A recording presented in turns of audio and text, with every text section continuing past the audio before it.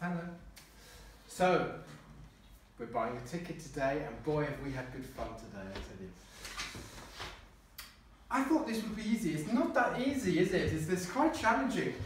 So, um, the basic stuff when you come up to somebody and they say, hey, can I help you?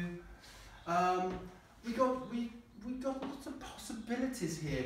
Can I have a ticket to Shepherd's Bush? I want to go to Shepherd's Bush. I need a ticket for Shepherd's Bush. I would like to go to Shepherd's Bush. I would like a ticket for so many possibilities. Basically, they're all good. Um, these are my favourites. Can I have a ticket or I would like to go or I'd like a ticket for. Those are my favourite ones because they're the most polite. These are fine.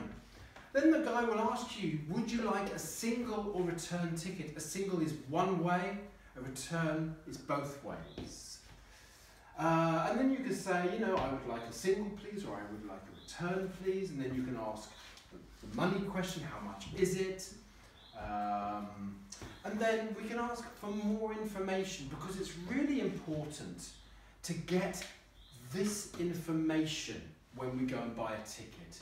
Without this information, we're trying to look at the sheet and, and get the information, but it's much easier if you ask these three basic questions when you get to the train station.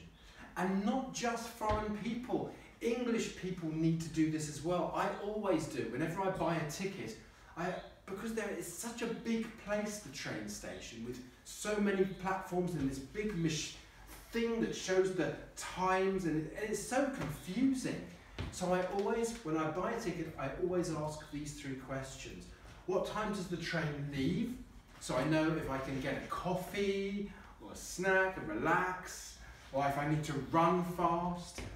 Uh, what time does the train arrive? So we know roughly, especially if we want to have a sleep. Sometimes we want to have a sleep on the train. We need to set our watch so it wakes us up, otherwise we miss our station. And which platform is it? Because there are so many platforms in these big train stations. Um, yeah, we looked at some of these words. There was a problem because somebody sold somebody the wrong ticket. So we were just looking at sell and sold and give and gave and buy and bought and take and took. But that's basically it. Thank you.